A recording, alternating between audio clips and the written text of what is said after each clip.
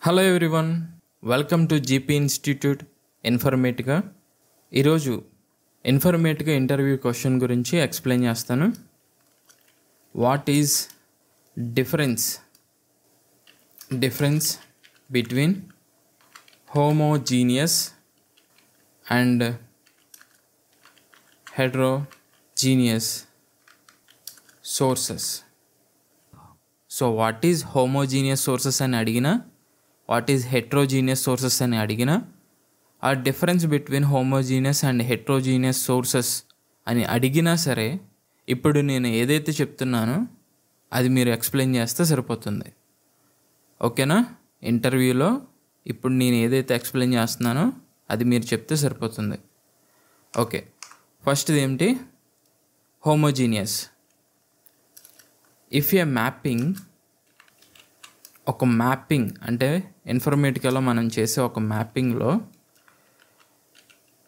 ఎప్పుడైనా సరే using only Oracle sources ఇప్పుడు మనం ఒక ఇన్ఫర్మేటిక్గా మ్యాపింగ్ చేస్తున్నప్పుడు ఇక్కడ ఓన్లీ అని రాశాను. సో ఇది బాగా అబ్జర్వ్ చేయండి. ఓన్లీ ఒరాకిల్ సోర్సెస్ కేవలం వరాకిల్ సోర్సెస్ మాత్రమే యూజ్ చేస్తే వరాకిల్ సోర్సెస్లో ఏముంటుంది? టేబుల్స్ ఉంటాయి. అండ్ దీంట్లో కూడా ఒక కండిషన్ ఉంది. అదేమిటంటే ఒరాకిల్ సోర్సెస్ అయినా సేమ్ స్కీమా నుంచి రావాలి. Okay? Tables from same schema. ఓకేనా? అది ఏ స్కీమా నుంచి అయినా సరే ఒకే ఒక స్కీమా నుంచి ఆ టేబుల్స్ అనేవి రావాలి. ఒకే ఒక డేటాబేస్. అది మీ ఇష్టం. ఏ డేటాబేస్ అయినా సరే పర్టికులర్గా ఒక డేటాబేస్ని సెలెక్ట్ చేసుకోవాలి. ఆ డేటాబేస్ నుంచి దాంట్లో ఉన్న పర్టికులర్గా టేబుల్స్ అనేవి స్కీమా నుంచి రావాలి. పర్టికులర్ స్కీమా నేను చెప్తుంది. ఫర్ ఎగ్జాంపుల్ జీపీ ప్రాక్టీస్ అనే స్కీమా ఉంది. జీపీ సోర్స్ అనే స్కీమా ఉంది. మన వరాకిల్ డేటాబేస్లో. సో వరాకిల్ డేటాబేస్ ఒకటే. బట్ దాంట్లో టూ స్కీమాస్ ఉన్నాయి. ఆ టూ స్కీమాస్లో మన సోర్స్ టేబుల్స్ అనేవి ఏదో ఒక స్కీమా నుంచి మాత్రమే రావాలి. అయితే GP practice source GP practice అనే స్కీమా నుంచి రావాలి. లేదనుకుంటే జీపీ ఎస్ఆర్సి జీపీ సోర్స్ అనే స్కీమా నుంచి మాత్రమే రావాలి. ఓకేనా? సో ఇది ఒరాకిల్ డేటాబేస్. మామూలుగా ఒక డేటాబేస్. ఆర్ ఇది బాగా అబ్జర్వ్ చేయండి. ఆర్ అని చెప్తున్నాను. అండ్ కాదు ఆర్ అంటే ఒరాకిల్ డేటాబేస్ నుంచి రాకపోతే సోర్సెస్ అనేవి డీబీ టూ డేటాబేస్ టూ నుంచి రావచ్చు. అది కూడా కాదనుకుంటే అది కూడా లేకపోతే ఎక్స్ఎంఎల్ ఎక్స్ఎంఎల్ నుంచి సోర్సెస్ అనేవి తీసుకోవాలి. అది కూడా కాదు అని అనుకుంటే or any other then.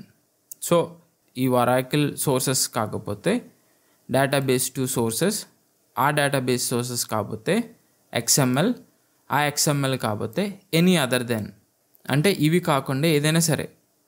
For example ఒకవేళ మీరు టేబుల్స్ తీసుకుంటే ఆ టేబుల్స్ అనేవి సేమ్ స్కీమా నుంచి రావాలి సేమ్ డేటాబేస్ నుంచి మాత్రమే రావాలి. అది ఏదైనా సరే ఒరాకిల్ డేటాబేస్ అయినా డేటాబేస్ టూ అయినా ఓకే మీరు ఫైల్స్ తీసుకుంటే ఓన్లీ ఫైల్స్ మాత్రమే తీసుకోవాలి. ఫైల్స్ అండ్ టేబుల్స్ రెండు కలిపి ఒక మ్యాపింగ్లో తీసుకోకూడదు. సో ఇలా సెపరేట్గా పర్టికులర్గా తీసుకునే సోర్సెస్నే మనం ఏమని పిలుస్తాం? They are called homogeneous sources. Okay? Okay. Homogeneous sources అంటే మీకు అర్థమైంది కదా? మనం బేసిక్గా యూస్ చేసేది టేబుల్స్ అండ్ ఫైల్స్. ఒక మ్యాపింగ్లో మనం యూస్ చేసేది tables and files. Homogeneous sources అంటే అయితే టేబుల్స్ మీరు తీసుకుంటే సేమ్ స్కీమా నుంచి సేమ్ డేటాబేస్ నుంచి ఆ టేబుల్స్ అనేవి తీసుకోవాలి. లేదనుకుంటే ఫైల్స్ మాత్రమే తీసుకోవాలి. టేబుల్స్ అండ్ ఫైల్స్ అనేవి రెండు కంబైన్ చేసి ఒక మ్యాపింగ్లో సోర్సెస్ కింద మనం తీసుకోకూడదు. సో అలా ఎప్పుడైతే సపరేట్గా మనం తీసుకుంటామో దానినే హోమోజీనియస్ సోర్సెస్ అని అంటాం. ఓకేనా? ఓకే. ఇప్పుడు హెట్రోజీనియస్ సోర్సెస్ గురించి నేను ఎక్స్ప్లెయిన్ చేస్తాను. Heterogeneous if you mapping is using Oracle sources Oracle source table ఇక్కడ కామా ఇచ్చాను. ఓకే? ఆర్ అవ్వలేదు. కామా ఇచ్చాను. flat file comma database to source and xml source then they are called as heterogeneous sources so దీనికి complete opposite homogeneous సోర్సెస్కి complete opposite ఈ heterogeneous sources okay heterogeneous sources. If a mapping is using Oracle source table, ఇక్కడ comma ఇచ్చాను. అంటే and flat files and database two source and XML source then they are called as heterogeneous sources మనం ఇన్ఫర్మేటికాలో mapping చేస్తున్నప్పుడు sources అనేవి తీసుకుంటాం కదా. So ఒక సోర్స్ అనేది వరాకిల్ సోర్స్ నుంచి ఒక టేబుల్ తీసుకున్నాం. అండ్ అనదర్ సోర్స్ అనేది ఫ్లాట్ ఫైల్ తీసుకున్నాం. అండ్ అనదర్ సోర్స్ అనేది డేటాబేస్ టూ నుంచి సోర్స్ అనేది తీసుకున్నాం. అండ్ అనదర్ సోర్స్ అనేది ఎక్స్ఎంఎల్ సోర్స్ అనేది తీసుకున్నాం. సో ఇలా డిఫరెంట్ డిఫరెంట్గా సోర్సెస్ అనేవి కలెక్ట్ చేసుకుని ఒక మ్యాపింగ్లో మనం వాటిని ఇంపోర్ట్ చేసుకున్నాం. సో అలాంటి సోర్సెస్ని మనం హెట్రోజీనియస్ సోర్సెస్ అని పిలుస్తాం. ఓకేనా? ఈ ఒరాకిల్ సోర్స్ టేబుల్ అనేది ఒక స్కీమా నుంచే కాదు జీపీ ప్రాక్టీస్ నుంచి ఒక టేబుల్ తీసుకోవచ్చు జీపీ సోర్స్ నుంచి ఒక టేబుల్ తీసుకోవచ్చు. అంటే డిఫరెంట్ డిఫరెంట్ స్కీమాస్ నుంచి సోర్సెస్ అనేవి తీసుకున్నాం. వాటితో పాటు ఈ ఈ టేబుల్స్తో పాటు ఫ్లాట్ ఫైల్స్ కూడా తీసుకున్నాం. అండ్ వాటితో పాటు వేరే డేటాబేస్ నుంచి సోర్సెస్ అని తీసుకున్నాం ఎక్స్ఎంఎల్ సోర్సెస్ తీసుకున్నాం.